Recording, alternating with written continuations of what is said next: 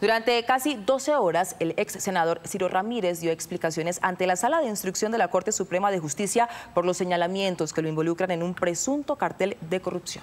Pues esas diligencias fueron conocidas por ese noticiero y están llenas de duros cuestionamientos y de varias perlas. Noticias Caracol investiga.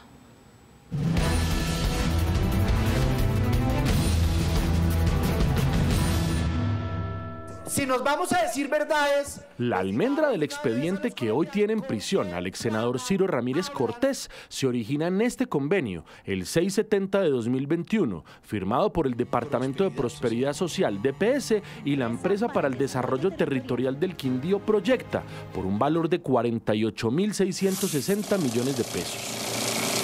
El objetivo del convenio era desarrollar obras de infraestructura vial y superación de la pobreza en municipios del Quindío, Tolima y Valle del Cauca. Para la sala de instrucción de la Corte Suprema, el verdadero dueño de ese convenio era Ciro Ramírez. Mi misión ha sido siempre buscar soluciones a las comunidades y pedir audiencias en las diferentes entidades sin el ánimo de enriquecerme o buscar contratos. Pero antes de conocer los detalles de la indagatoria del ex senador, que está llena de perlas, es necesario conocer a los protagonistas de esta historia para que nadie se pierda. Empezando por el propio excongresista del Centro Democrático y su asesora en la Unidad de Trabajo Legislativo, Caterín Rivera Boorques, su principal enlace con el DPS y con los demás señalados de esta organización presuntamente ilegal. Voy a demostrarle mi inocencia eh, porque es un convenio del que no tengo nada que ver. Después aparece en esta trama Pierre García Jaquier, entonces subdirector de proyectos del DPS, quien según la Fiscalía direccionó el convenio para entregárselo a Proyecta. Proyecta estaba gerenciada por Pablo César Herrera y su asesor Alejandro Noreña Castro.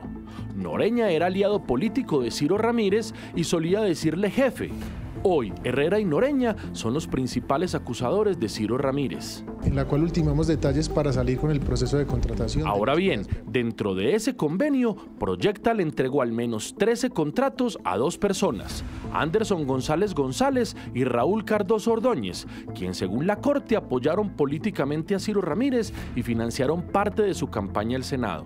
Incluso le habrían pagado al excongresista y a Pierre García una coima de mil millones de pesos. Claro, que entendemos que es un presupuesto. De acuerdo con las evidencias, Ciro Ramírez copió el modelo de corrupción del senador Mario Castaño Pérez, condenado por el llamado caso de las marionetas. Senador del Partido Liberal. Castaño, fallecido en noviembre pasado en prisión, también obtuvo en 2021 un convenio del DPS por más de 22 mil millones de pesos que fue firmado con Proyecta. Es decir, el mismo modus operandi que en el caso de Ciro Ramírez. Jamás he tenido la mínima investigación por un contrato, un convenio o absolutamente nada, nunca.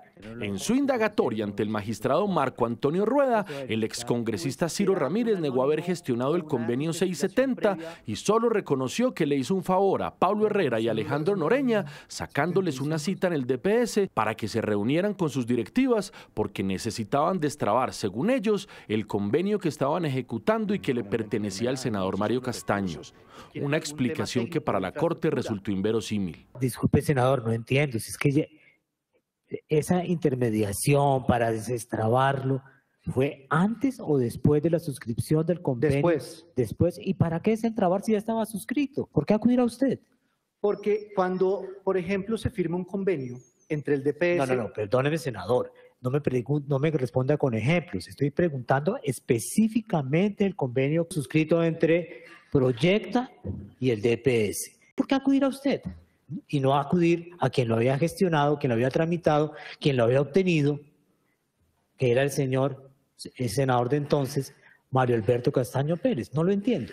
En los convenios que se firman con una entidad territorial y el DPS, siempre había mil problemas. Senador, perdón, perdón, lo interrumpo porque... Muchas preguntas del magistrado no fueron contestadas de forma satisfactoria por el ex senador. Perdón, lo interrumpo, senador. Incluso el jurista tuvo que llamarle la atención para que fuera preciso en su respuesta sobre un encuentro que tuvo con Pablo César Herrera en la sede de Proyecta en Armenia. No, el senador, la pregunta es concreta, desde luego, usted no lo ha negado.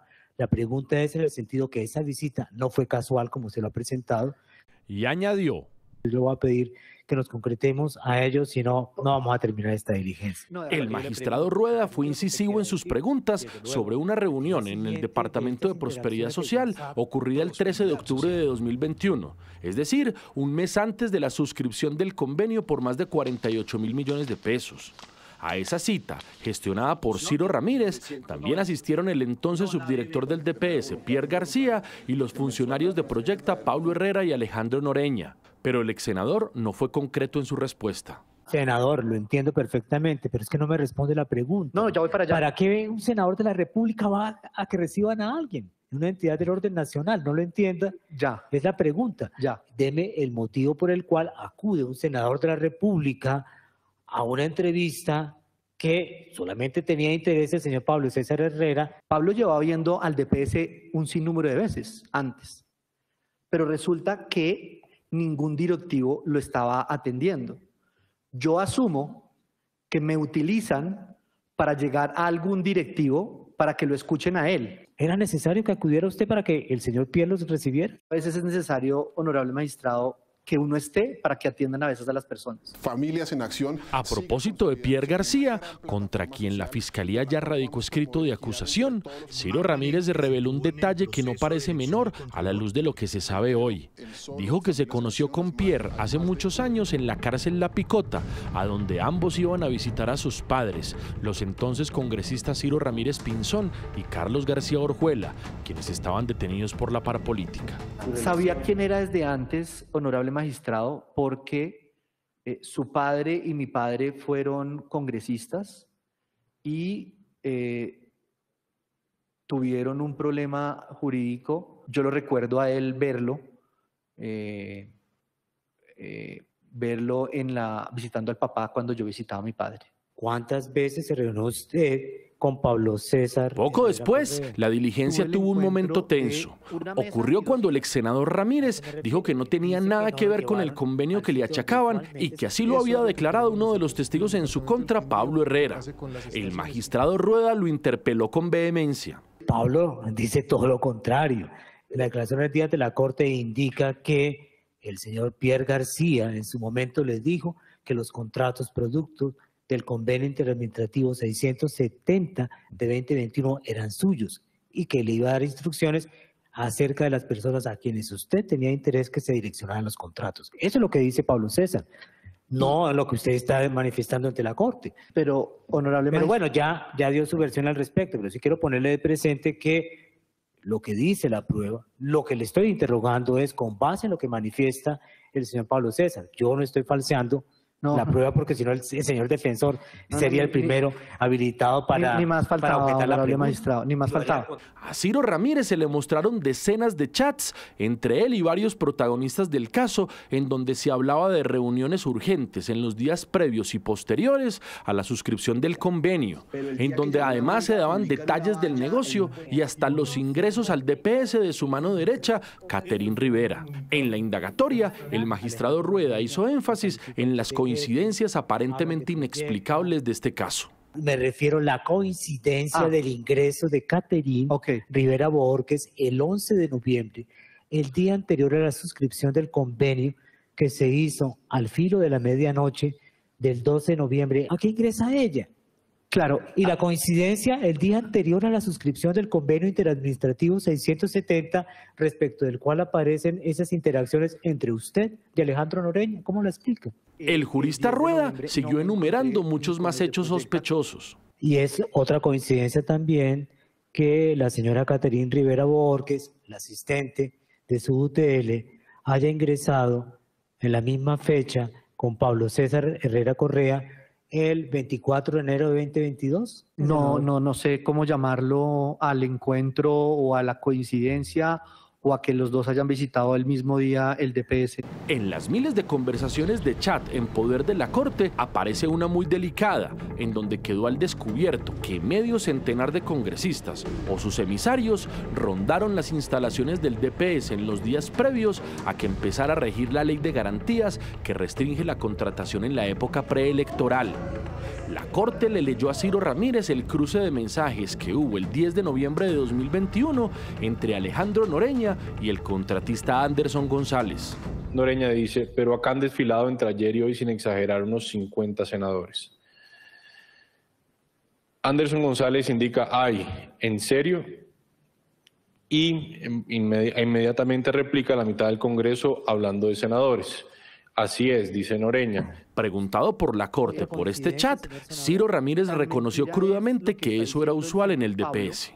El mismo chat lo dice, que había más de 50 senadores esos días por lo que comenzaba la ley de garantías. Entonces es normal que los que hemos venido acompañando alcaldes, pues estuviéramos muy pendientes de que pudiéramos ayudar, y es más, lo dice Alejandro Reña, que fueron más de 50 senadores. es lo normal. Senador, que perdón, le interrumpo no nos interesa a los otros 49 congresistas de la República.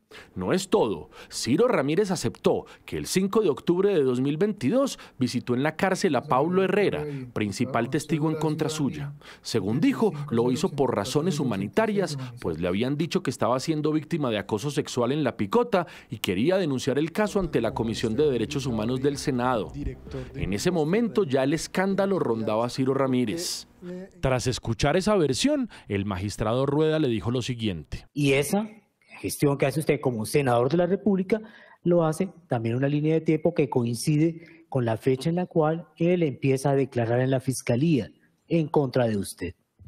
¿Demasiadas coincidencias, señor senador? Sería absolutamente ilógico que si la persona está hablando en contra mía, yo vaya a la cárcel a solicitarle que no hable de mí dejando todos los registros posibles habidos y por haber. La sala de instrucción de la Corte también documentó que esta presunta organización delictiva hizo sacar al supervisor de los contratos en el DPS, Óscar Rodríguez Suárez.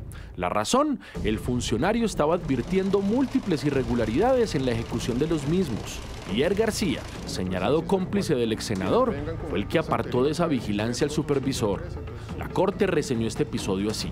Fue removido de esa función porque de él se tenía la percepción de que su comportamiento era en términos coloquiales fregar y fregar, a tal punto que se le visualizaba como un obstáculo para la ejecución del negocio jurídico. El 11 de abril pasado, en un documento de 343 páginas, la sala de instrucción de la Corte acusó a Ciro Ramírez por los delitos de concierto para delinquir, cohecho e interés indebido en la celebración de contratos. Está demostrado que el congresista Ramírez Cortés, en la condición de servidor público y prevalido de ella, ideó, urtió, organizó y dirigió un entramado criminal. En ese designio individual y mezquino habría asumido el compromiso de direccionar los trámites de selección en Proyecta. El aforado, al parecer, accedió a promesas pero también a utilidades en el ámbito del rédito político y electoral.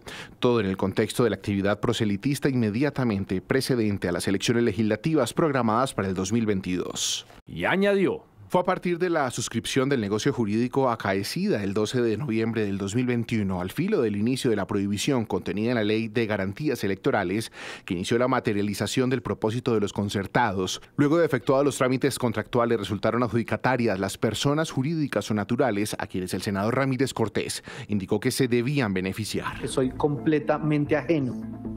A pesar de estas pruebas, Ciro Ramírez insiste en que tiene tranquilidad en el alma, que es ajeno a estos hechos que esto es un complot de unos delincuentes que lo enlodaron para salir de prisión y que así terminará por probarlo.